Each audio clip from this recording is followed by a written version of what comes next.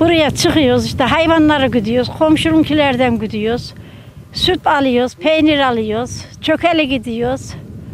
Çocuklarımızı alıyoruz yanımıza. Ekiz çocuklarım var. Onları alıyorsun. Eşim ferşli, o duruyor yanımızda.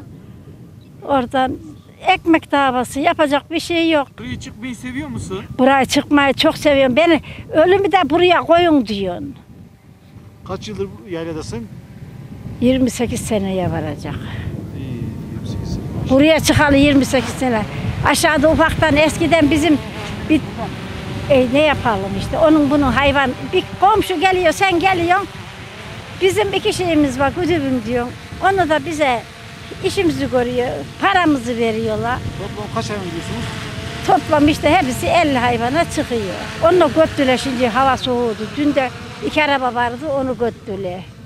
Bugünüm işte bak bu hava geldi ya bu şey sis çok güzel onu da seviyoruz. Sabah kaçta kalkıyorsun? Sabah kaçta kalkıyoruz? Altıda kalkıyoruz. Yemeğimizi, çayımızı içiyoruz. Hayvanlarımızı salıyoruz. Geliyoruz bu yana yukarı. Orada torbamız var. Ezak azık koyuyoruz. Buralarda çöğürüyoruz. Ondan sonra aşağı götürüyoruz.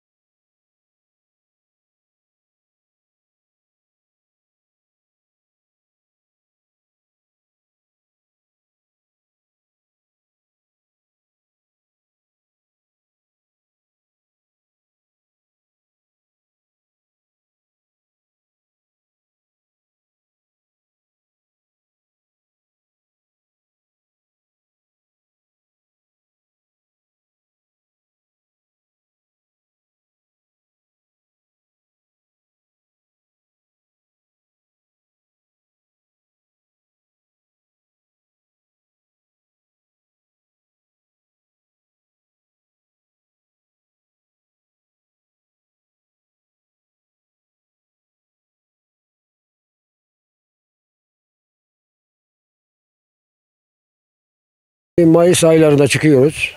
Ee, Kasım'a kadar e, bu yaylalarda duruyoruz. Ee, buralar bizim için çok önemli. Ben 80 yılından beri e, bu yaylaya çıkıyorum. Hala de devam ettirme, ettirmekteyim. Ee, ve devam etmek de istiyorum. Canımın sağ olduğu müddetçe. Onun için çok önemli bizim için buralar. Gelir kaynağımız. Yaylalarımız. Hem kendimiz e, hayvanlarımız gidiyoruz hem de komşuların mesela hayvanlarını gidiyoruz. Çoban olmayan kişilerin. Herkes sebepleniyor buradan. Ee, Burada 200 aşkın hayvan yayılıyor en az. 8-10 ailede duruyor burada. Yani ayrı ayrı duruyorlar. E, Merada hayvan otlatıyoruz. E, gelir sağlıyoruz. Kazancımız. e, her türlü kazancımız var müdürüm. Tereyağı yapıyoruz, yoğurdumuzu yapıyoruz, peyniri yapıyoruz, çökeleğini yapıyoruz. Bunlardan da faydalanıyoruz. Değil müdürüm ya biz alışkınız. E, çocukluğumuzda burada geçti. Yani burada zorluk olsa kimse çıkmaz buraya. Ha, zorluğu var ama buna da katlanacağız. Bu kadar müdürüm. Nasıl? Hoşuna gidiyor mu senin? Gidiyor. Ben severek yapıyorum müdürüm. Bu işi dedim ya 80'den beri buradayım severek yapıyoruz. Sevmeden hiçbir şey olmaz zaten. Yapılmaz da ya. Onun için ben şimdi dört tane daha istiyorum müdürüm.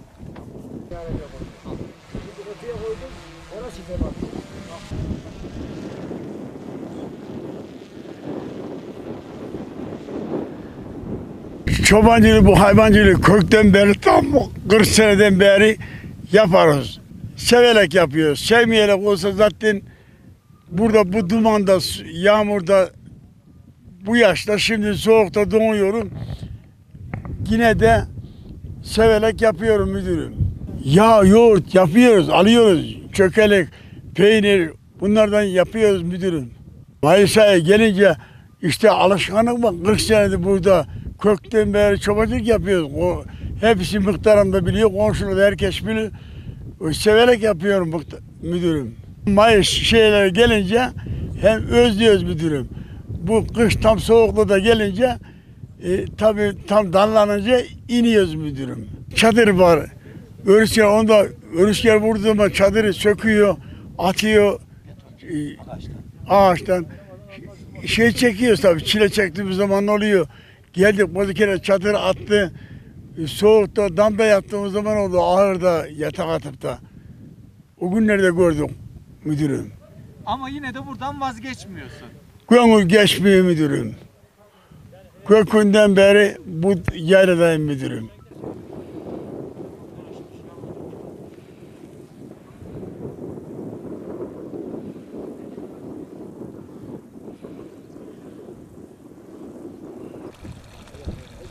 Hemen şu üstte bir şey yaptırırız. Tamam beton sıva. Vatandaşı mallı güttük.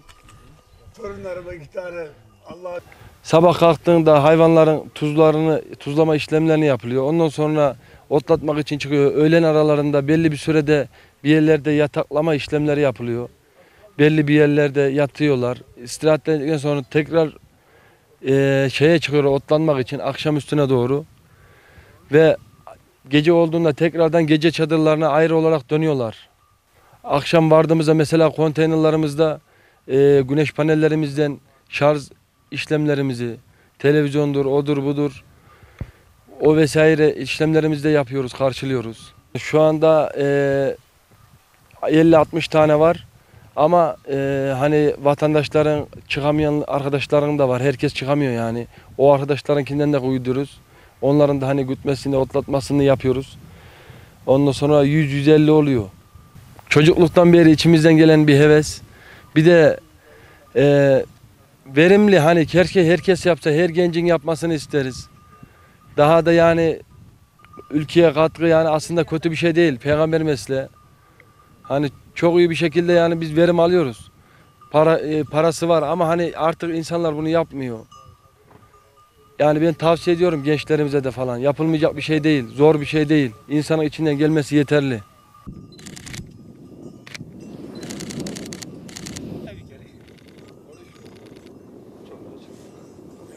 Abi konteynerin içinden kedi çık.